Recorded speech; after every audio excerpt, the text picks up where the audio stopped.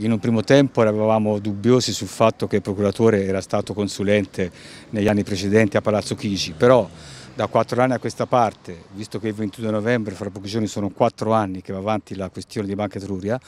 con gli incontri fatti con lui ripetutamente, con come si è comportato con noi, noi a questo punto auspichiamo che possa rimanere, anche perché se arriva un giudice da Treviso, e questo riparte da capo un'altra volta, buonanotte, già siamo in ritardo, è passato quattro anni, quindi sotto questo profilo noi auspichiamo che rimanga il procuratore Rossi. Dopo il sostegno arrivato da parte del pool dei magistrati aretini, la dura presa di posizione degli avvocati, adesso anche i risparmiatori azzerati della vecchia Banca Etruria si schierano contro la decisione del Consiglio Superiore della Magistratura sulla mancata conferma di Roberto Rossi a procuratore capo di Arezzo. Una delegazione dell'Associazione Vittime del Salvabanche infatti questa mattina ha salito le scale del Palazzo di Giustizia Aretino per incontrare il presidente del Tribunale Gianni Fruganti. Temiamo ulteriori rallentamenti perché quando ci sono delle, dei personaggi nuovi che vogliono rivedere tutta la questione, su questo lo abbiamo detto anche, sottolineato anche a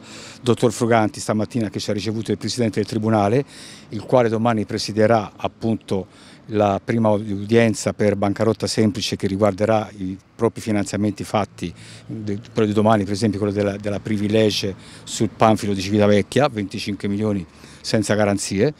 E lì abbiamo auspicato che siccome l'origine è quella, i colpevoli sono sempre all'origine, noi aspettiamo che la giustizia faccia finalmente qualche condanna vera, che abbia il suo decorso, anche perché passano gli anni